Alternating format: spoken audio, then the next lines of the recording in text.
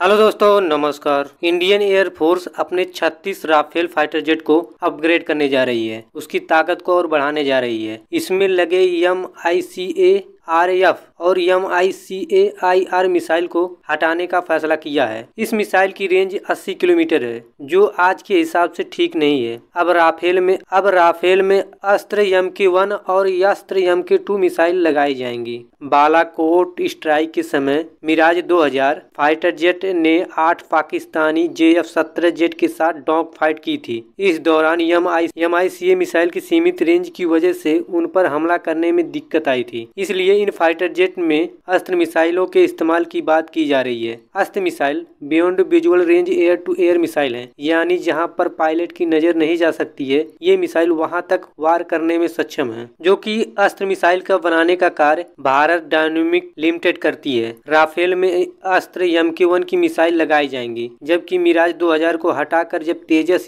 To fighter jet आएँगे तो उनमें अस्त्र टू मिसाइल लगाई जाएँगी। आइए जानते हैं अस्त्र मिसाइल की क्या ताकत है। अभी तक इस कैटेगरी की स्वदेशी मिसाइल मौजूद नहीं थी। ये कई वेरिएंट में मौजूद है। किसी भी तरह की रेंज में हमला करने में यह मिसाइल पूरी तरीके से सक्षम है। फ़िलहाल जो वेरिएंट मौजूद है, वो 10 किलोमीटर से लेकर 110 किलोमीटर तक है, जो कि सुखोई 30 एम के आई फाइटर जेट में अस्त मिसाइल लगाया जा चुका है। यह मिसाइल को डीआरडीओ ने डिज़ाइन किया है। बियॉन्ड विजुअल रेंज मिसाइल, यानी जो वह टारगेट जो नज़र से नहीं दिख पाता है, उन टारगेट पे यह मिसाइल हमला करने में पूरी तरीके से सक्षम है। अस्त्र मिसाइल की तीन वेरिएंट बनाए जा रहे हैं। अस्त्र आई आर यह 80 किलोमीटर की रेंज की होगी। दूसरी अस्त्र एम के टू इसकी रेंज 160 किलोमीटर होगी। तीसरी अस्त्र एम के थ्री इसकी रेंज 350 किलोमीटर होगी। यानी इतने अलग अलग रेंज और वेरिएंट के साथ जब भारतीय फाइटर जेट सीमा युद्ध क्षेत्र में जाएँगे तो उनकी गर्जना सुनकर दुश्मन खेमे में भगदड़ मच जाएगी। और